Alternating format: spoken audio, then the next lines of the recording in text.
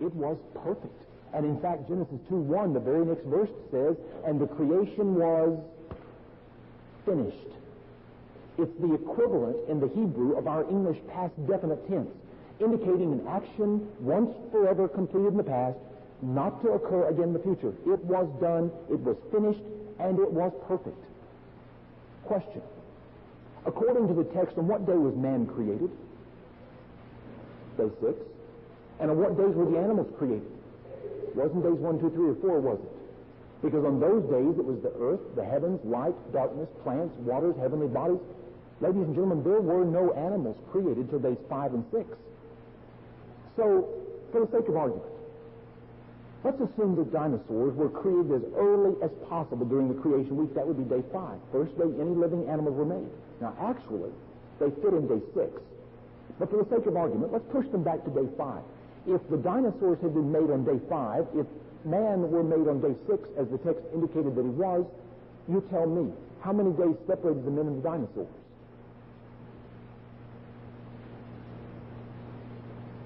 One.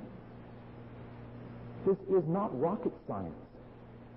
Folks, this is easy to understand. A child can understand this. God made it where we can understand it.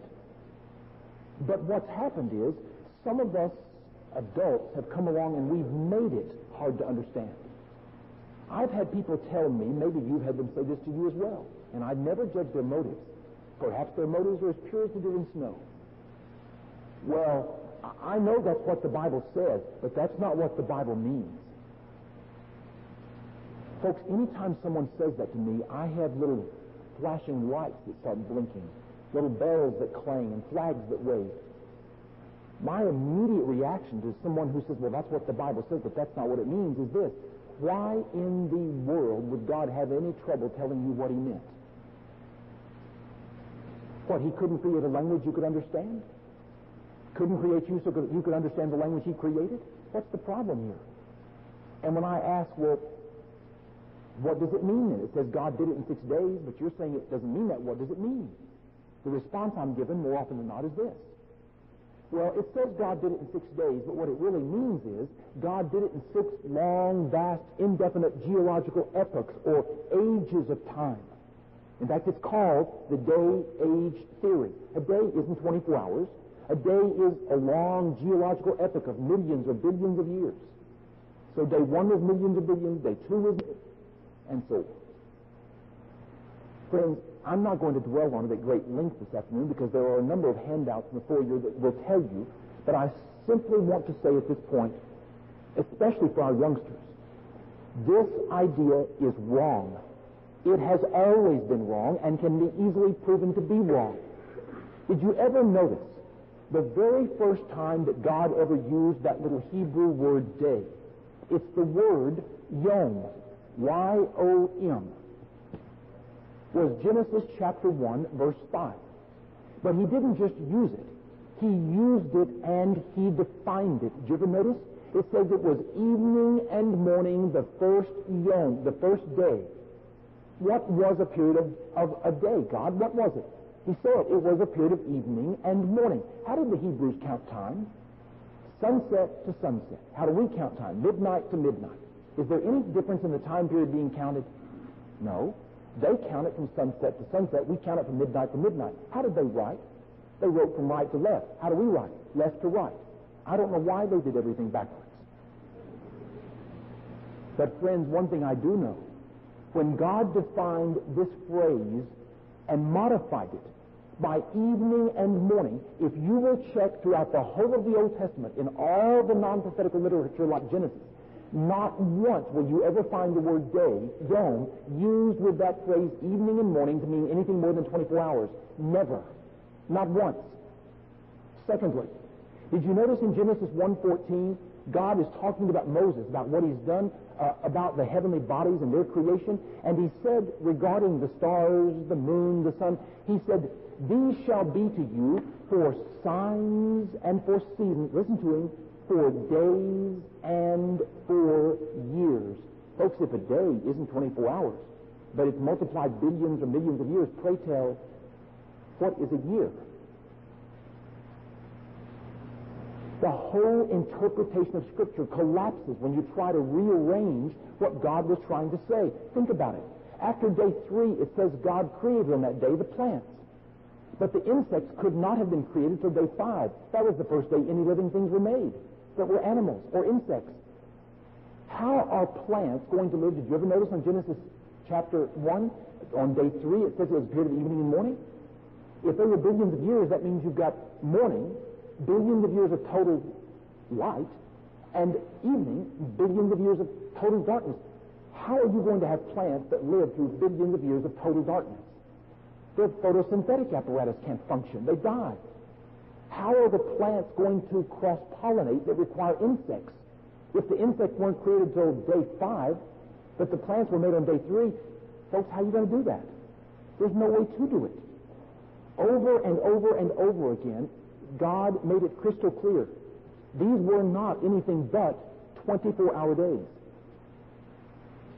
Some time ago, I was in Macon, Georgia, on the campus of Mercer University. I was giving a lecture to a group of university students on one of the campus auditoriums, and I was dealing with the age of the earth specifically, and at the end of it, I dealt with some of the biblical aspects, especially the day-age theory. And when I hit this particular point, there was a young man sitting on the end of the pew about halfway back. And when I hit this, he began to squirm in his chair, and you could tell what I was saying wasn't hitting him very well. By the time I finished, his face was flushed red with anger. And when I called for questions from the audience, his was the first hand to go up. In fact, he didn't just put his hand up. He stood up out of his chair, barely waited for me to call on him, shook his fist defiantly at me and said, I don't like what you've just said. He said, I don't like it one little bit.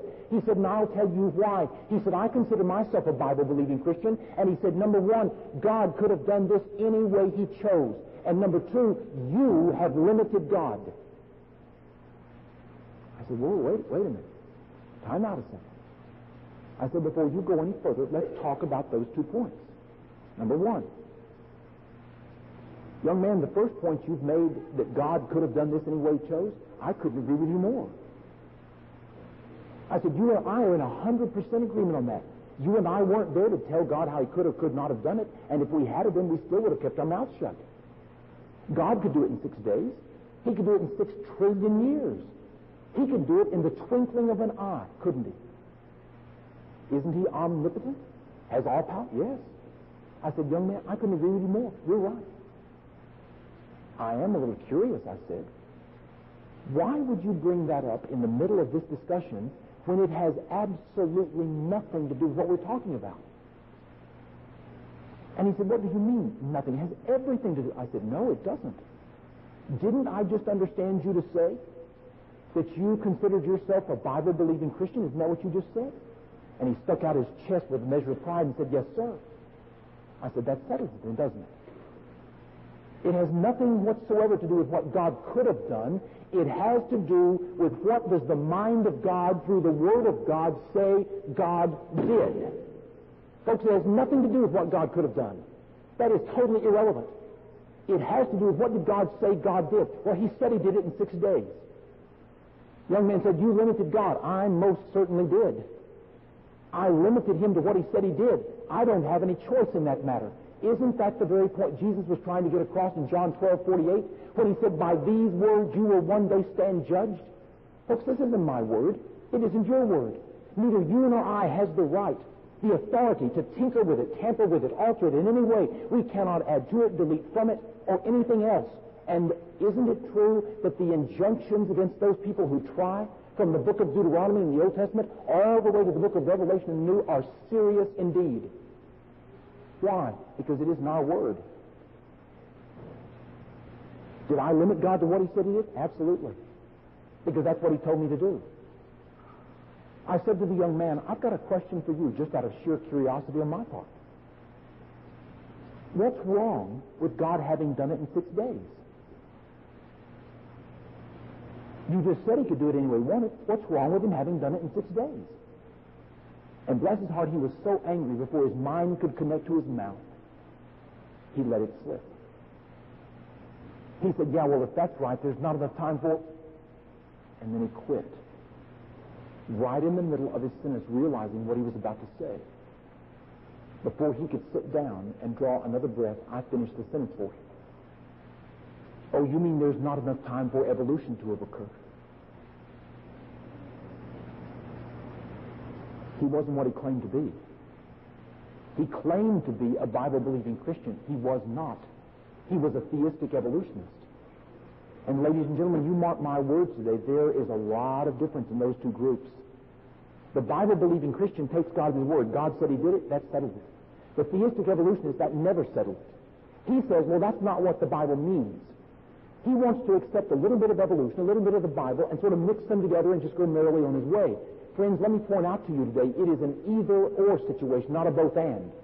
You either believe in evolution or you believe in creation. You don't believe in both of them. May I remind you also that evolution was invented in the first place to get around the biblical doctrine of creation. You're not going to be able to take evolution and stick it back in the Bible without the destruction of both.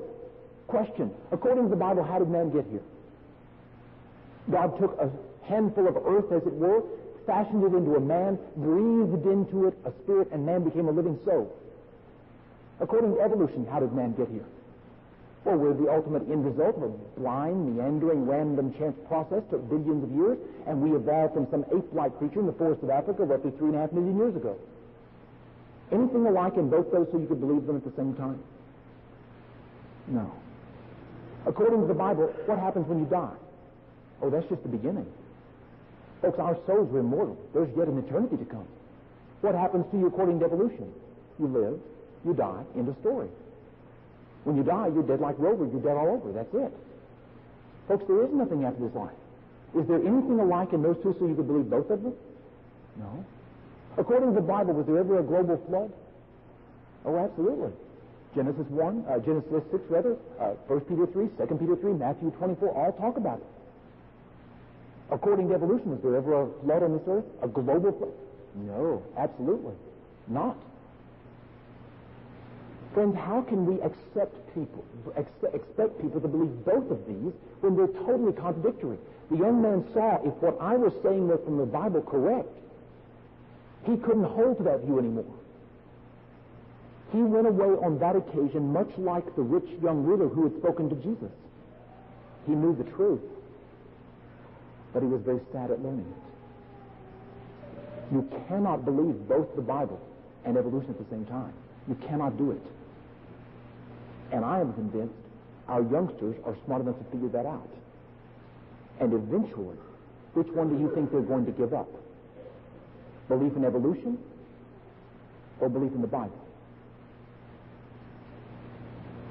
The one they have not been given the evidence for. That's the one they're going to give up. This afternoon, one last question comes to mind very quickly. What happened to the dinosaurs? Where did they go? Why don't we apparently have them here today? Well, that's the question everybody wants the answer to, so let's just answer it. Right here, right now, straightforwardly, forthrightly, we can tell you. The dinosaurs. Oh. I'm sorry, we're out of time. Well, I guess if you want to know what happened to the dinosaurs, there's just one way to find out. You'll have to be accurate at 3.30. Don't you just hate it when they do that to you? Folks, look, this really isn't that bad. Your favorite television program come this May is going to dump you, and it's not going to pick you back up till September. This is just one hour. We're going to start the next lecture by asking and answering that question. What happened to the dinosaurs? Where'd they go? And as I promised last evening, I'm going to tie to it a medley of matters that ask questions like these and provide answers. How old is the earth from the biblical standpoint? Where does the global flood fit into all of this? Uh, what about the intelligence of early man, caveman, that we've heard so much about? Uh, how did we all, if we came from an original human ancestor, turn out to be different colors? Some of us black, some white, some red, some yellow, some brown, and literally everything in between. All of those kinds of things we're going to deal with at the next lecture. But before we take a break, let me mention two things to you very quickly. Number one, as you exit after this lecture, if you want them, please go to the back tables in the foyer to your right and get the handout materials. Those are not the same as the ones that were there last evening. That's the new material for this afternoon. And would you do me a favor? Would you do that first before you do anything else? Because that will let you get away from the tables and give me some room to work because as soon as you finish that, I'm going to come back there, put all those up, and get out two whole new tables of handouts for the next lecture.